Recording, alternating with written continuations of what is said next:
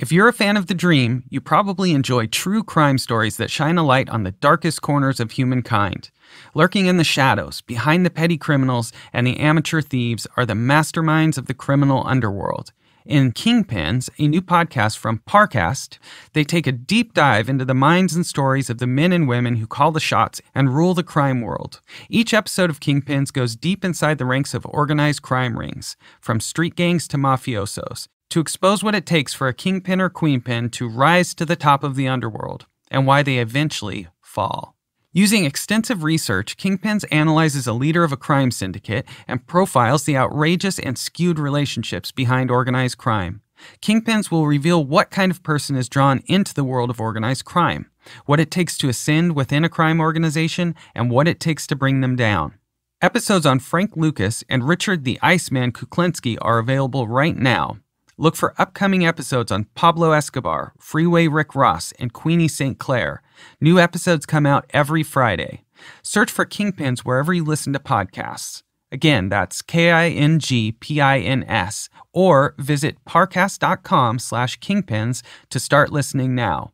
That's Parcast, P-A-R-C-A-S-T dot com slash kingpins to listen now. Wherever or however you're listening to The Dream right now, you should take a moment and check out Stitcher. Those of you listening on Stitcher already get why. For those who don't know it, Stitcher is a free podcast app for iPhone and Android. It's got 150,000 great podcasts like The Dream or the new Marvel podcast Wolverine The Long Night. Stitcher's also got smart recommendations and playlists so you can queue up all your favorites to stream one after the other. Plus, Stitcher has a premium service with more than 21,000 hours of original shows, bonus episodes, and ad free shows you can only hear in Stitcher Premium. Listen to The Dream, Freakonomics, or Today Explained completely ad free. If you're on your phone, download it free right now in the App Store or visit getstitcher.com to learn more. Previously on The Dream. They don't care if you can make ends meet at the end of the month. They just care that you're ordering the minimum. I've been digging into the legal history of MLMs, mm-hmm. and I am going to take you on a journey through the epic battle that took place between the FTC and the multi level marketing industry. They don't care if they ever wind up in the hands of customers. All they know on their balance sheet at the end of the day that you ordered it and they got that profit, and now we're moving on.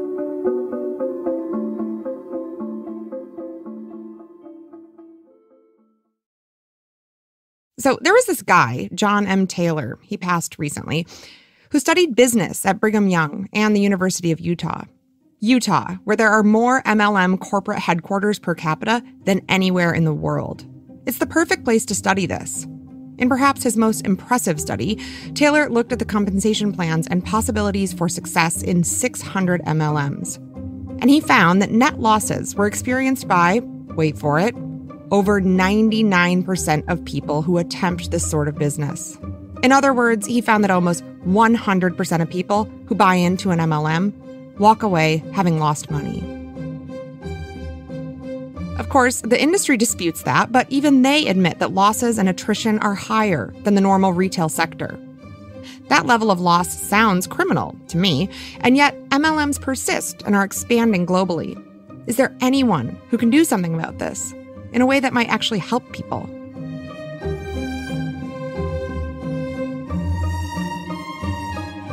I'm Jane Marie, and this is The Dream, Episode 7 Lazy, Stupid, Greedy, or Dead.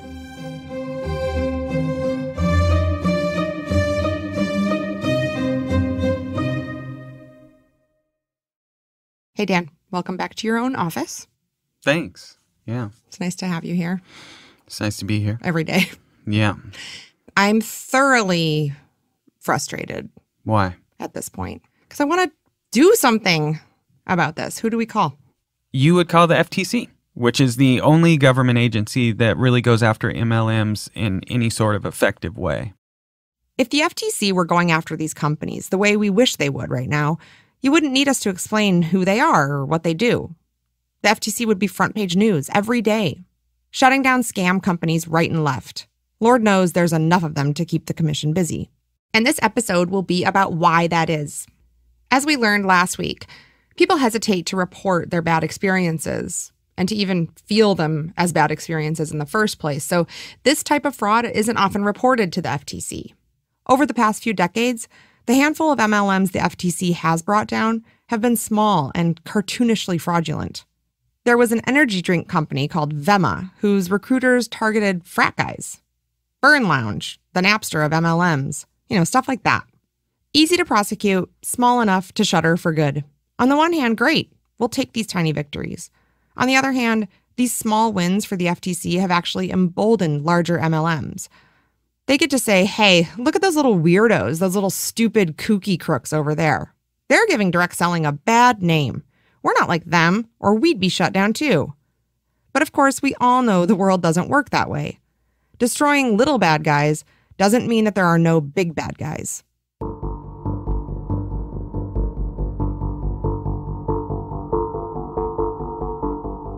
Last time we were talking, you were telling me about a time when the FTC cared Yeah. about about people being victims of these sorts of companies and also was doing like actively doing something about it and doing well at it. But something went wrong. Well, essentially, when MLMs came to the attention of the FTC, they went after them pretty hard for mm-hmm. about 15 years. And during that 15 years, they had some successes. Mm-hmm. And then ultimately had a case that would define how multi level marketing as an industry would go forward. oh And they lost that case. so the losing of it defined like where we are now And and I should say the reason I found this out is because in looking into this, I started to call people who had been involved in cases against MLMs. And there's a man named Bruce Craig who was a assistant attorney general for the state of Wisconsin for 30 years. Mm-hmm. He had been working in consumer protection. So I asked Bruce, did the government ever try to shut these companies down? Mm-hmm. And if they did, how successful were they? Mm-hmm. And if they were successful, uh, what happened? Why Right. aren't they anymore? Oh, there's one word, Amway. The Amway decision by the Federal Trade Commission uh, uh, changed everything. Okay, so what's Bruce talking about? Well, what would turn out to be one of the biggest cases in the history of the FTC's battle against multi level marketing. It was against Amway. And Amway at the time was the biggest MLM in the world, aside from Avon. um, but they were a huge company. And they lost that case. And that case, I would come to learn, had a huge effect on not only how the FTC would approach complaints against MLMs, but also how the industry would defend itself against cases brought against it. Mm-hmm. And it had an emboldening effect on the entire industry. They- it- Emboldened is too weak of a word. Um, everybody claimed they were just like Amway. They basically legitimized those that weren't sued because there was a difference between a legal and an illegal one, and they sued the illegal ones, and the, you know, the implication was that the other companies not sued were legal. It was a crazy enforcement concept, and so the Amway case, I think, affected completely the outcome after uh, 1979.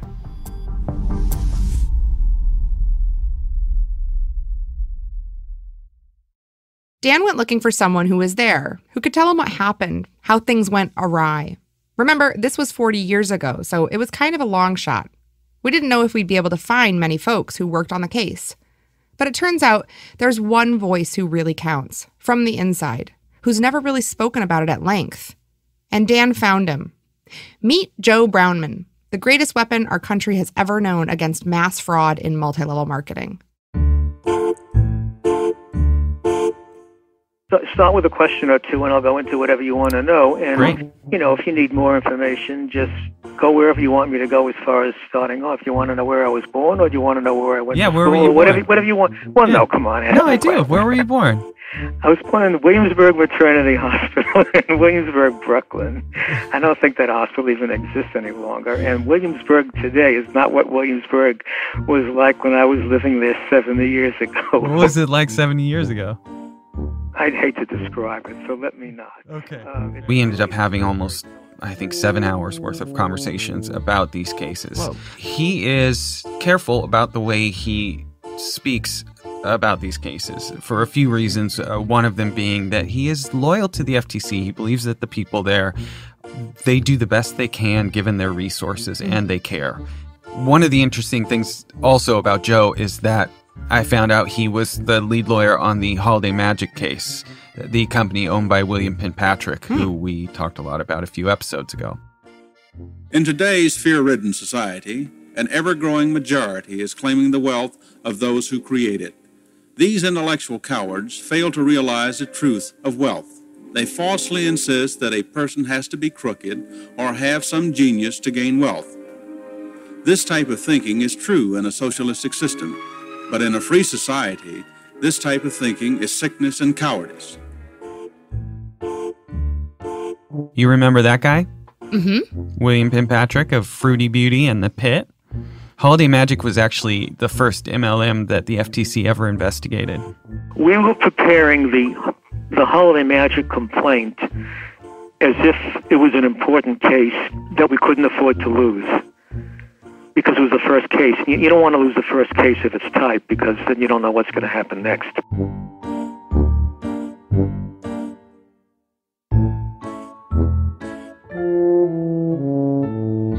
We all knew that this was going to be a template for the future cases that the commission was likely to bring in this area of multi-level selling, pyramid selling, whatever whatever you want to call it. And it took a very long time. I think it took six months.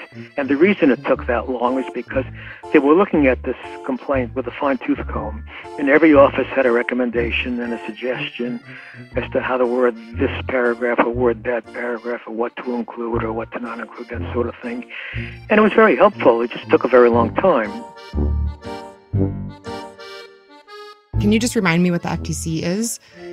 Their stated goal, and this is paraphrased, but their stated goal is to keep free markets safe Okay, for the people that are functioning within them. got it. So you have the consumer protection side, they deal with frauds. Then you have the competition side, and their job essentially is to make sure that monopolies don't exist and mergers and acquisitions are fair.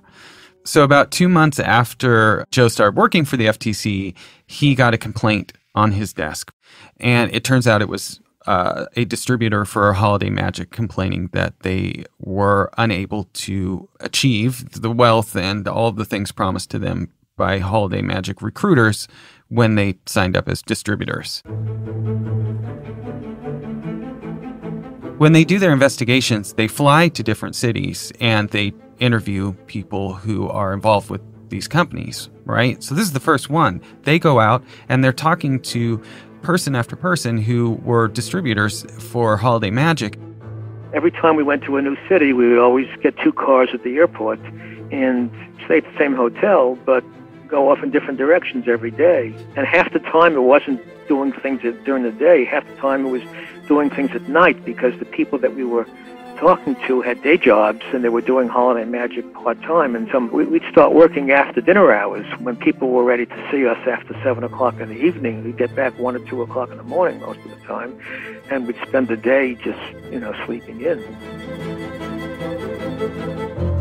We wanted to know what was going on. We were asking them everything. We wanted their documents. We, I mean, we, we were asking, we needed a full understanding of what they were doing, what they heard, what the representations were, what their success or lack of success was. Uh, I, I mean, we needed, we needed to know everything. As they're doing that, that's how he's determining what he wants to bring as far as uh, charges against Holiday Magic.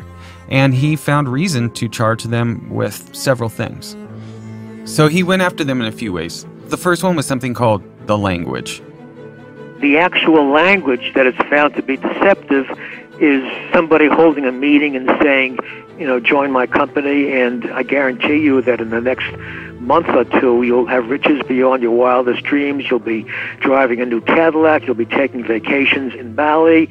You'll be, you know, X, Y, and Z. That would be reason to find that the representations of huge earnings was deceptive because it was not something that could be supported by the company's own experience. We had that kind of evidence. Holiday Magic's official recruitment materials were full of these sorts of promises and techniques for getting people to sign up on the spot. Quote, tell them they're going to be happier, healthier, wealthier, and receive what they want out of life with the Holiday Magic program. Pull a roll of $100 bills out of your pocket and say, Now, I'm not trying to impress you with this money that I'm making, but would earning this kind of money each week interest you? Wonderful. And then there's something about throwing it in the air. Or how about this? Any person who fails in the Holiday Magic program must fall into one of the following categories 1. Lazy. 2. Stupid. 3. Greedy. Or 4. Dead.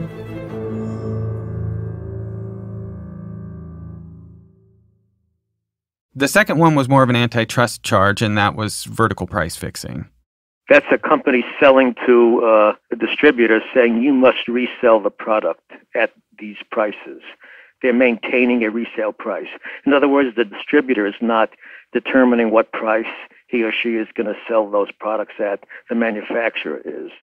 The third and most important thing that Joe went after Holiday Magic with was something that he referred to as the plan. By the plan, what I mean is because people kept recruiting people, and if the plan was going to work, they would have to keep recruiting people. At some point, everybody in the market area would know about the company or have been recruited or have been attempted to be recruited. So there was no viable opportunity for anybody who was still hearing the plan for the first time to be able to um, make any kind of a go of it. In other words, the market was saturated with distributors or with people who were um, had rejected the plan.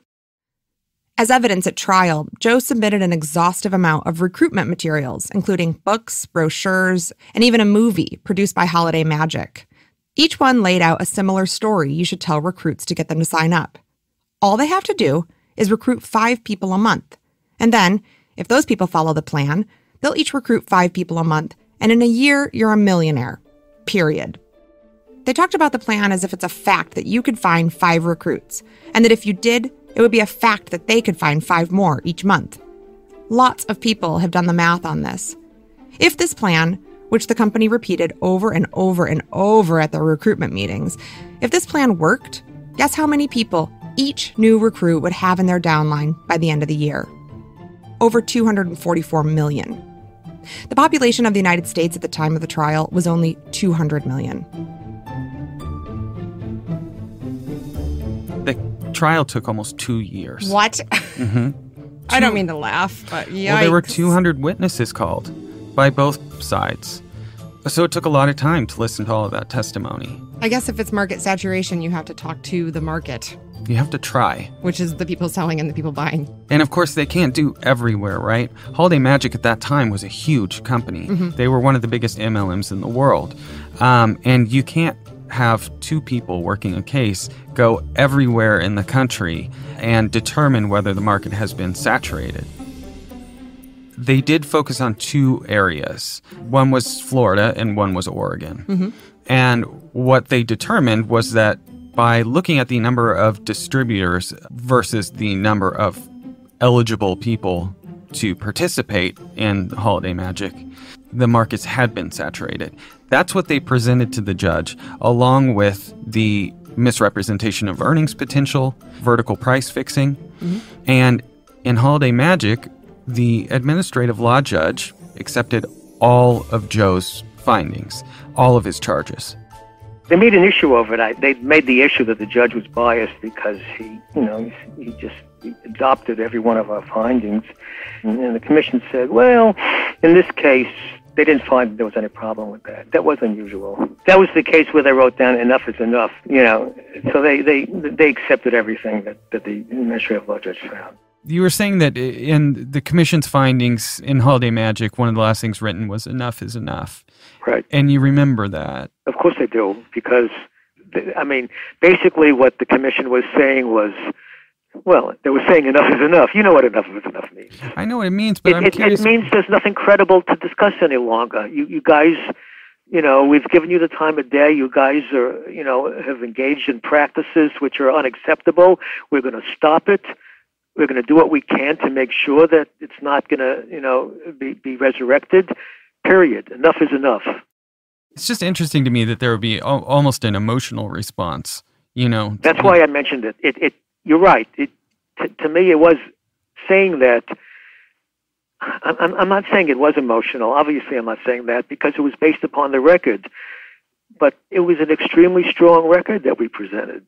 right? And It the pe- was. I mean, I was there. I, I, I know what was in that record.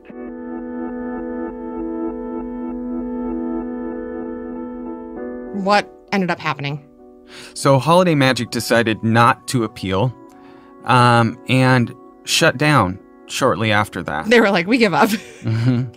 For years, William Penn Patrick had been placing his hundreds of millions of dollars he had earned from Holiday Magic into trusts for his kids. And his money, for the most part, was secure. At that point, he shut down Holiday Magic. Then Oh boy. he died.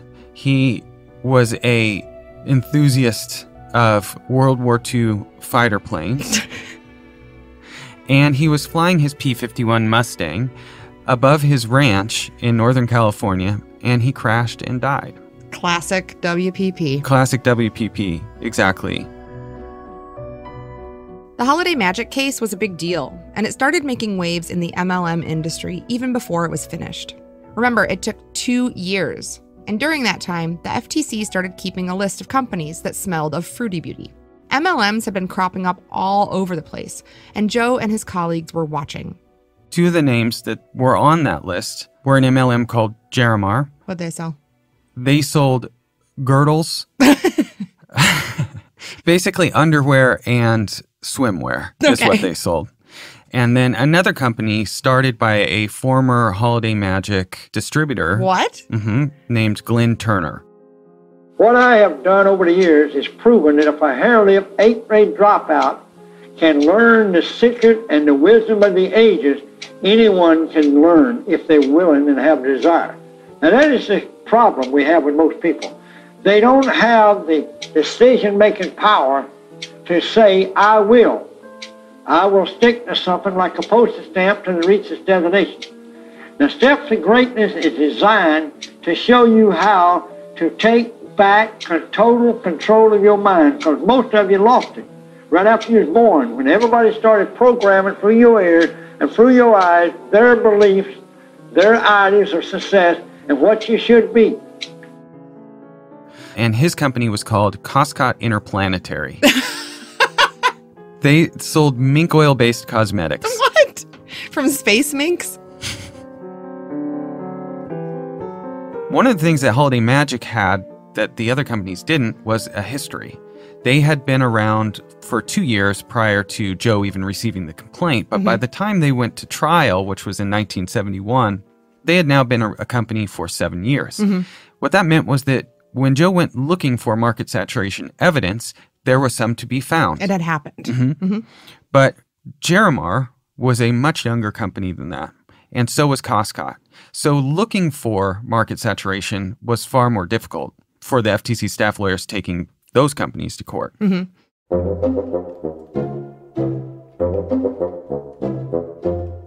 Remember how Joe said this holiday magic case was super important to the FTC because being the first complaint of its kind, it would set a precedent? He was really hoping to show that this relatively new business model was, in fact, a gussied up pyramid scheme in most, if not all, cases. And if he could do that using the method he chose for holiday magic, they'd just apply the same methodology to any other company that came across their desks. Well, spoiler alert, that didn't happen because the FTC actually settled its cases with Koscot and Ger-Ro-Mar before the holiday magic verdict. In its fervor to crush this new scourge, the FTC kind of shot itself in the foot. The settlements were technically victories for the FTC and for consumers, but they didn't do anything to help Joe's strategy. He wanted a cascade of guilty verdicts, showing pyramid schemes and impossibly saturated markets, and instead, he got one holiday magic. The problem is that if Ger-Ro-Mar had come after Holiday Magic had been decided, rather than before that, the expert witness could have, instead of relying upon a mathematical formula, could have done that and said, and I looked at the holiday magic facts. I found them to be similar to the Jerimoff facts, and I, the expert, agreed that there was saturation in holiday magic. Therefore, it's inevitable that there would have been saturation in Jerimoff as well.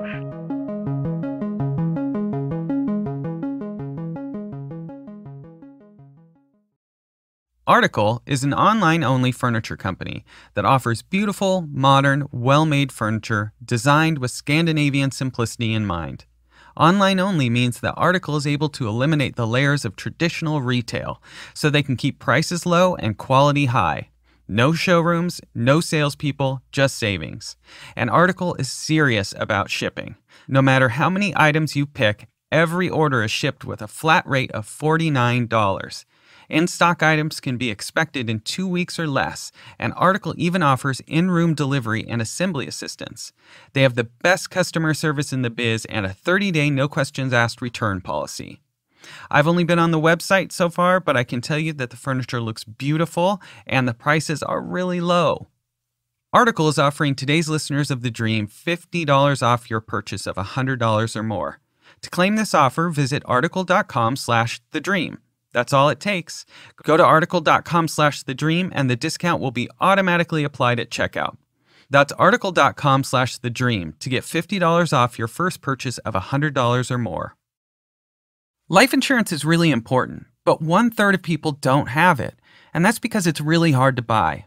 You have to work out what you need and then do the research to find the best quote and hope you don't get swindled along the way. It's not a good way to shop. So Policy Genius made the whole process a lot simpler. Policy Genius compares quotes from the top life insurance companies to find the best policy for you. All it takes is two minutes to get a quote. And even if you don't know the first thing about insurance, they've got all the tools to get you up to speed.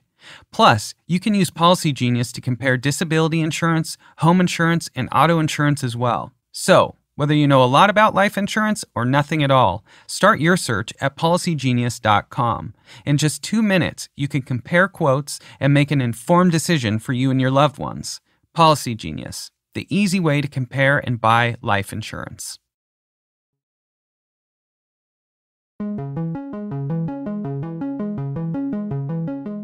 So, Joe didn't get exactly what he wanted.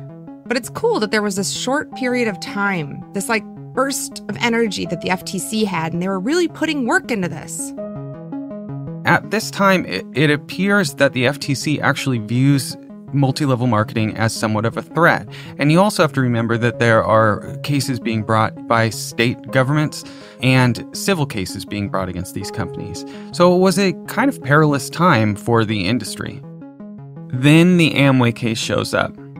The FTC had issued a formal complaint against Amway in 1975.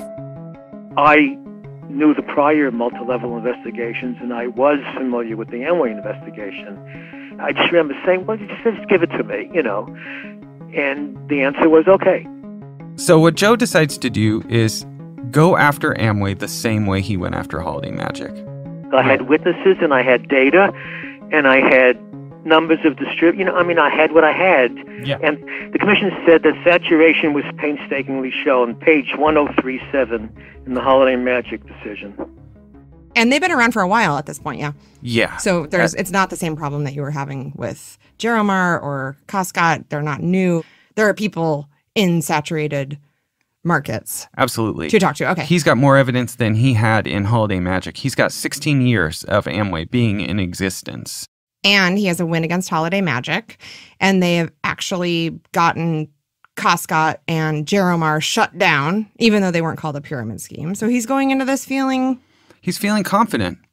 He's basically going to take the exact same charges that he had leveled against Holiday Magic um, and level them against Amway.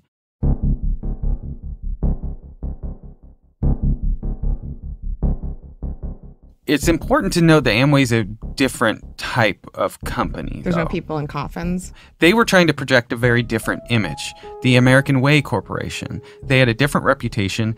They were well known and not well known necessarily for being infamous or notorious. It was different. More it was legitimate. not. It was not what you know. It was not what Holiday Magic or Koscot's reputation was, as I recall. It was not the same. Amway was different. Sure, the founders flailed around starting and closing a bunch of businesses before settling on an MLM.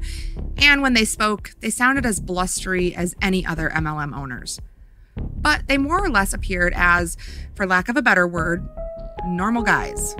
I mean, first of all, they were from Michigan, not Northern California or Orlando or other exotic locales. They had a respectable, uptight vibe, selling cleaning products and other household items, not fruity beauty and girdles. And they were incredibly conservative. In 1970, the DeVosses started a nonprofit foundation that would go on to donate large sums of money, like really large, to the Heritage Foundation, Focus on the Family, the Federalist Society. You get it. Say, I missed my flight. Can you get me to my pro-am? I can get you there. Oh, great. Our in-flight meal, Mr. Hope, an Amway food bar. Does Amway make this? Amway offers over 350 home care, housewares, nutrition, and personal care products. How come you know about Amway? My wife and I have our own part-time Amway business. We're building financial independence. Sounds like you're really flying with Amway. Contact an Amway distributor. I've got the whole story. They got Bob Hope to be their spokesman. See what I'm saying?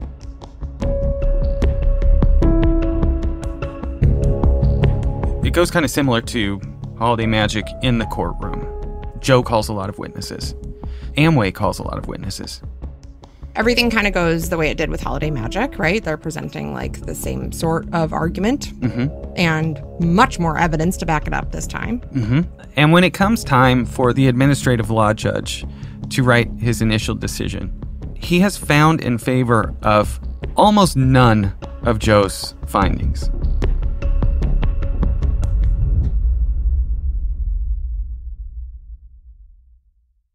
So, if you look at market saturation, the most important charge, the judge in his initial decision, in his writings, he cited evidence, testimony brought forward by witnesses who had been called by Amway to talk about how easy it was to find new recruits.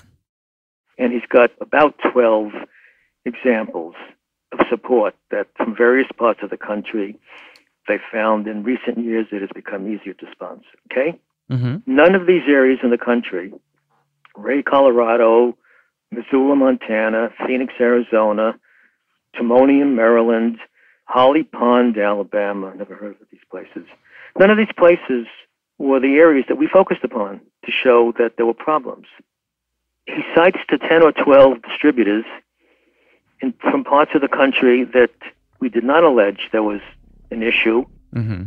And he says, we called some witnesses, without saying how many, who testified about the difficulty without saying that they were credible, and doesn't even give their names or where they were from.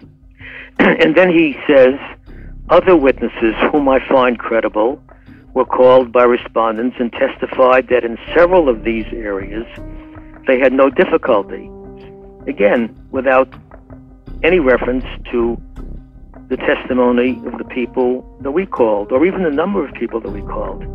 Joe had market saturation data and witness testimony from five different states mm-hmm. in the country. The judge didn't look at that at all.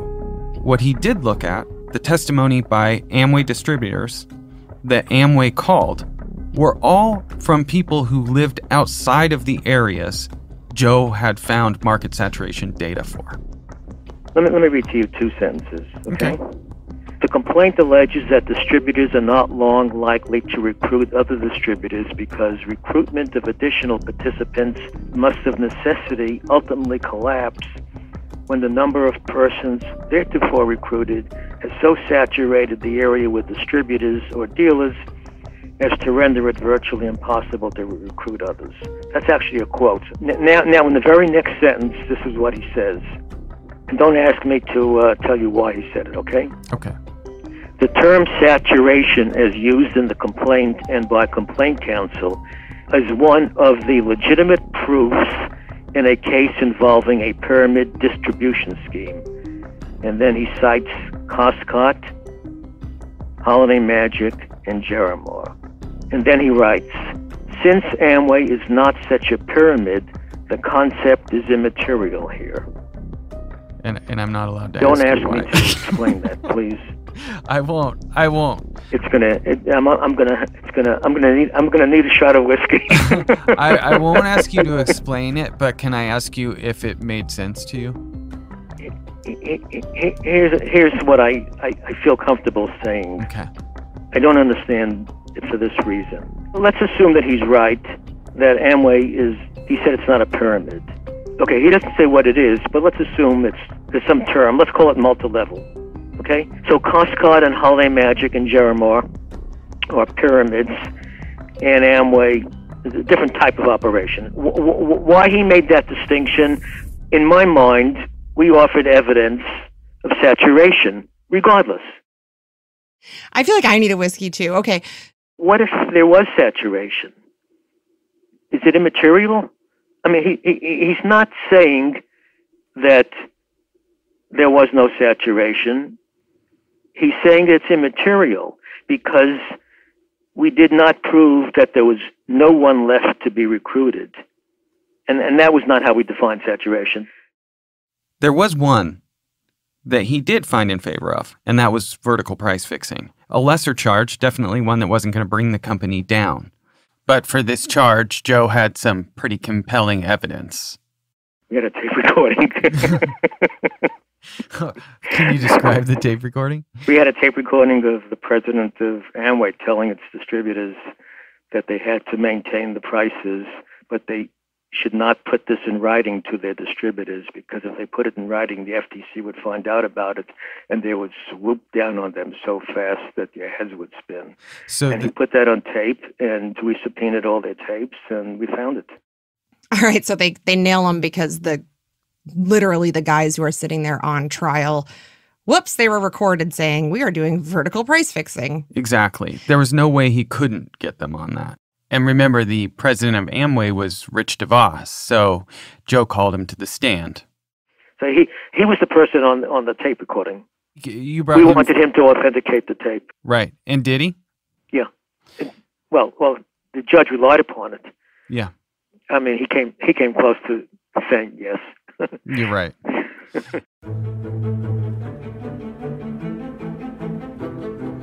So that was the decision by the administrative law judge.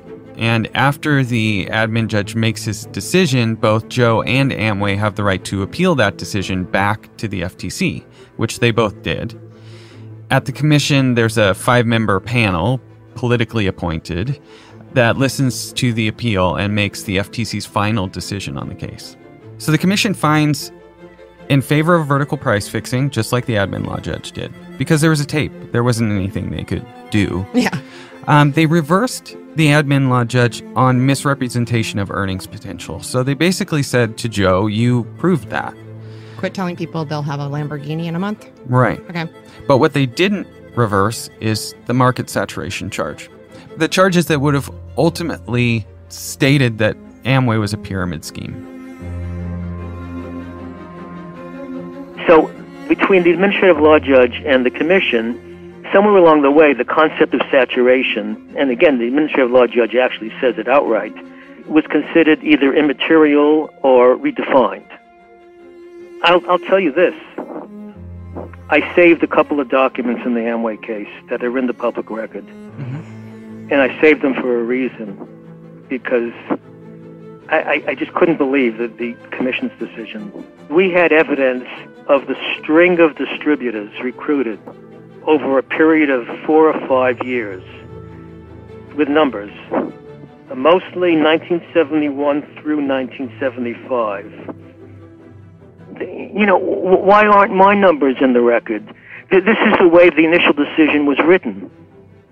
Now, I'm not, I'm not telling you that we proved saturation to an absolute certainty. That's for others to decide. I'm telling you I offered evidence of it and that the administrative law judge, he didn't reject it, he ignored it. There's a difference.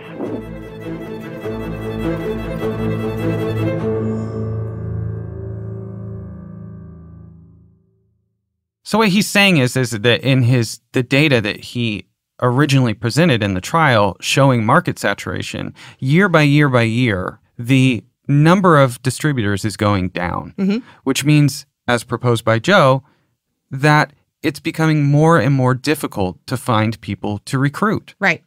because so many people have been recruited that you can't find anymore. Also, there's probably tons of people who are like, "Ooh, no, no, thank you." Exactly. There are so many ways in which market saturation affects the ability of a distributor to actually sell their products. Mhm. One of them being the fact that it's difficult to find recruits, and that's part of the way that you make money as a distributor. One of them being that now people are inundated with Amway distributors and they just kind of want them to go away. Right. Like I feel on Facebook when I see the makeup and candles. Right. And so you have all of these different Amway distributors, and then throw in the fact that none of them can set their own pricing. So they're all trying to compete in a relatively small area, selling the same products for the same price in the same way, and it becomes really difficult. Were you surprised by the Commission's decision? So, no, I was not surprised by the commission decision. Um, Were you surprised by the initial administrative judge? yes. Very surprised? I mean, you had, pre- you had presented this case. I was surprised. Yeah.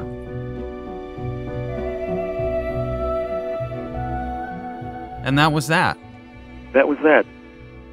I never did anything after May of 1979 involving any of these kinds of practices. I never even read the press releases that the commission issued.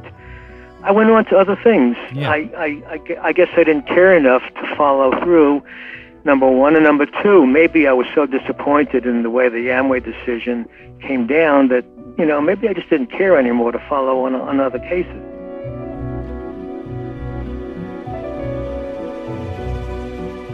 Clearly, they're still around. So, what? Did they suffer any consequences?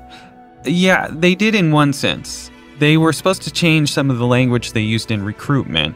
A year or so later, the FTC found that they weren't complying with that Hmm. and were ultimately fined.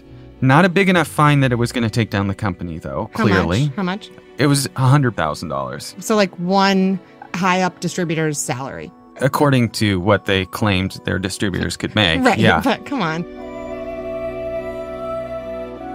We wanted to find out if anything else was going on here. How did Amway do this? How, when all of the other companies were falling like dominoes, how did Amway not only stay standing, but continue to grow? We called our resident historian, Robert Fitzpatrick. Robert's currently working on a book, Ponzi-nomics, The Untold History of Multi-Level Marketing. He knows more about this case than just about anyone besides Joe, but comes to it with an outsider's perspective.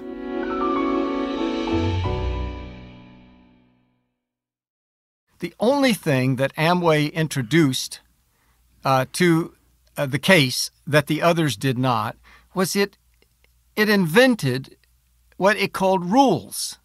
During the trial, kind of out of nowhere, Amway comes up with these three rules that they pulled out of thin air, but presented as something that had been founding principles of the company since it had started. Mhm. So let me read to you what the Amway rules are. And this, again, is what they said they did on their own to ensure that there was no funny business going on. Okay. First, Amway required distributors to buy back any unused and marketable products from their recruits upon request. Wait, like if somebody was working under them and was like, I can't sell this stuff, then they're supposed to give the money back. Right. We've looked into a lot of buyback policies, and they are extremely complicated and really, really difficult to execute if you're the distributor. There are tons of rules around what they can buy back. Rule number two Amway required each distributor to sell at wholesale or retail at least 70% of its purchased inventory each month, a policy known as the 70% rule. Anybody who has spent 10 minutes in business or in sales knows that the, the whole thing is preposterous, that you offer an unlimited income opportunity to your salespeople. There's this fruit hanging there, which if you just get out and recruit and recruit and recruit, you will make money. But then say, but you're not going to get to use that as your method of making money. You have to retail. This is going to be a retail based business. I mean, it's just preposterous. Hmm. If what it is that you're saying as a company is these are independent distributors, they operate their own businesses, we don't keep tabs on their financial records, then there's no way that you could say you keep track of whether or not they are doing this, the 70% rule. The last one is Amway required each sponsoring distributor to make at least one retail sale to each of 10 different customers each month, known as the 10 customer rule. No evidence has ever been presented to prove that Amway enforces these rules, that these rules are inherent to Amway, that they are just a part of the fabric of what Amway is. Yet, the FTC treated these rules as economic and legalistic canons, some almost like scripture. So when I first talked to Robert about the Amway rules, I just assumed they were some like imposition handed to them by the FTC, but then I found out that was not the case. Who came up with the Amway rules? Amway! Really? Yes! I always assumed it was the FTC that came up with them. No! No, Amway introduced them, and nowhere else on earth, nowhere in the law is there such a thing as uh, rules that mitigate a pyramid scheme, and nowhere in the business world can you find anything similar to it. It was invented during the case, as the case was going on. But if you read the decision, they are treated as if they are uh, legal and economic canons. In fact, no data existed or was asked for to prove that these had efficacy or that they were valid. After that case, the defense of every MLM has been we're just like Amway. We have rules. We're retail oriented. We require that they sell five or 10 retail products. They have to sell some percentage of their product every year. We have these rules. Don't ask them if they enforce the rules. Don't ask them for any data on this. It's almost impossible to find evidence as to whether or not these companies are doing this. They don't keep it. They say loudly and clearly that they don't keep the records they would need to present as evidence that they actually do this. But the Amway rules aren't even a law. There's no law, there's no nothing. It's just what they said. They were invented by Amway, they became the cover, and they allowed, I think, they allowed the FTC to give Amway a pass, and they had to give them a pass because these people had enormous political power. Pause. Did you know that the Chamber of Commerce is not a government body, but instead the largest private lobbying organization in the country? Yeah, the Chamber of Commerce spends more money each year by exponential amounts than any of the big lobbies that we hear about regularly. Over the last 20 years, they've spent more than the real estate lobby, Blue Cross Blue Shield, and ExxonMobil combined. So here you got the finance chair of the Republican Party and the chairman of the biggest business lobby in the country sitting on trial for fraud. Well, like Joe Brownman, I, and I think everybody, believed that somehow there was a kind of legal snafu that occurred here, uh, a flawed decision, an inexplicable decision.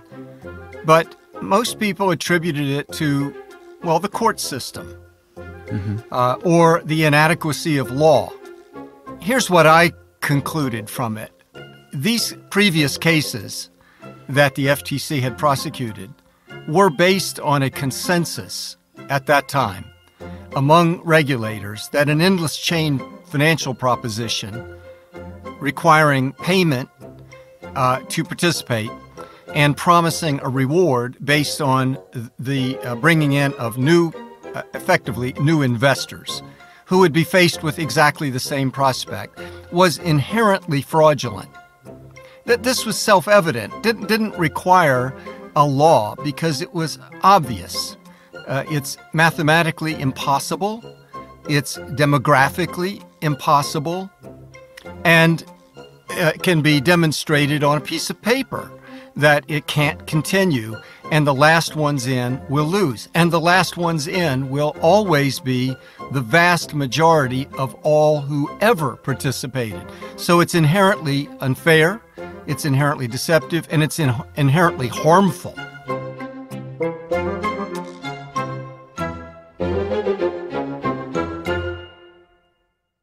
Amway and Court used a tactic that reminds me of the shell game. Sure, there's market saturation over here, but keep your eye on it. Now, look over here. Look, no market saturation, right? Quick, before there's market saturation, look over here. Essentially, their argument boiled down to this as long as there were new markets to saturate, there was no such thing as market saturation. And from that point, the saturation argument stopped being the MLM killer Joe and the FTC thought it would be. But let's go back a little further. The case was brought in 1975. That's when the FTC brought the case against uh, Amway. In 1974, Richard Nixon resigned in disgrace. He was uh, out of office, and his vice president assumed the presidency. His vice president was Gerald Ford. Gerald Ford was the congressman for Grand Rapids, Michigan. Grand Rapids, the birthplace of Amway and home to its founders. I can tell you from living near there that chances are, if you owned a huge fancy house in Grand Rapids, you knew the other people who owned huge fancy houses in Grand Rapids, Michigan. He was a friend of the Van Andels and the DeVosses. They were major funders of his campaign. And when they were now being prosecuted by the FTC, he's the president. They had, and this was reported in the Washington Post, they had a private meeting with Gerald Ford while they were being prosecuted by the FTC. They later announced that Gerald Ford was aware of their quote problem with the FTC. So, is it possible really that the FTC was going to truly close down a company that had such political influence with the with the sitting president, who was president uh, through '76, that they could go in and meet with him privately and discuss their their issue? I don't think so. I think anyone uh, with with some willingness to look at political realities would say that was never going to happen. The meeting that they had with President Ford, did they attend that meeting together? Yes. And was that the only one that you know of? That's the only one that was reported in the media. Mm-hmm. I don't think you need multiple meetings with the president, and especially when you go back with him for years and years. Yeah.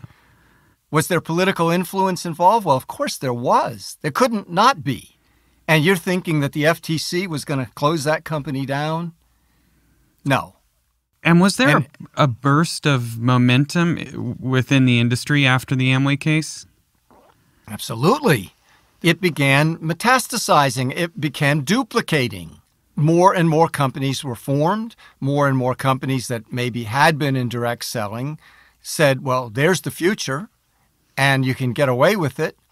So now we have put these into a business format. We, we have codified them, institutionalized the endless chain promise. The Amway decision, along with what would happen over the next few decades between the industry and the executive office of the United States, paved the way for there currently being about 500 MLMs in operation worldwide. The FTC has shut down a handful. Don't worry, we'll be back with that story. Oh, wait, one last thing. Guess who is the current chairman of the Chamber of Commerce? Steve Van Andel, Jay's son, also the current chairman of Amway.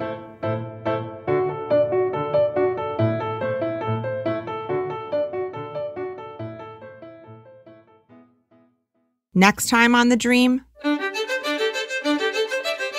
I'm still feeling that like overwhelmed feeling yeah. where I just I don't know where to start, but I, I'm not doing anything. I'm sort of like paralyzed by fear because there's just so much I should be doing, and I'm trying to do it and it's not working. So, wait, how much is this going to cost though? Actually, I think it's going to cost maybe six or seven hundred dollars. Oh my god! I mean, I need to stay in a hotel. I'm we're not... over a thousand dollars now. No, we're way over a thousand dollars. Now we're up to like fifteen hundred bucks. Yeah, there is no question in my mind that everyone there knows exactly what they're doing and and they literally were just confronted with the faces and the stories of the people they're affecting and couldn't even bother to look up from their computers. The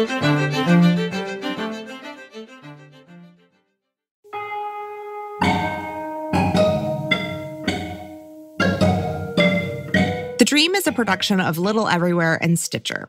Written and reported by me, Jane Marie, Dan Gallucci, Mackenzie Kassab, Lyra Smith, and help from Claire Rawlinson. We are edited by Peter Clowney. Our fact checker is Michelle Harris.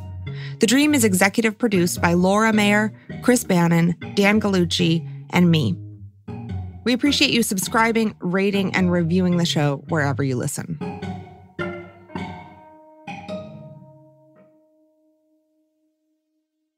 Hello, the Dream listeners. Have you had a personal experience with MLMs? We want to hear from you. Leave us a voicemail at 715 600 0326 or send us an email at this is the dream podcast at gmail.com.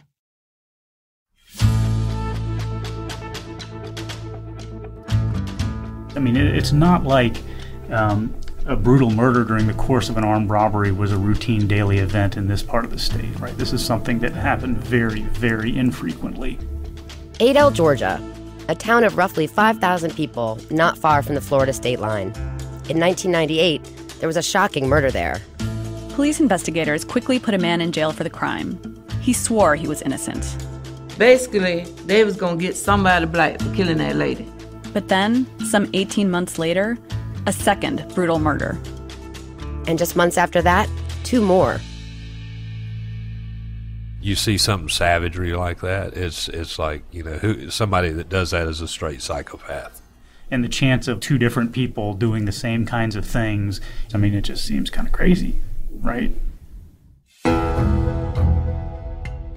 I'm Jordan Smith. And I'm Liliana Segura. We're reporters for The Intercept. Together, we have more than 30 years of experience investigating wrongful convictions. We know how they happen and how putting the wrong person in prison for murder means a killer goes free. Murderville, Georgia. Subscribe now on Apple Podcasts or wherever you listen.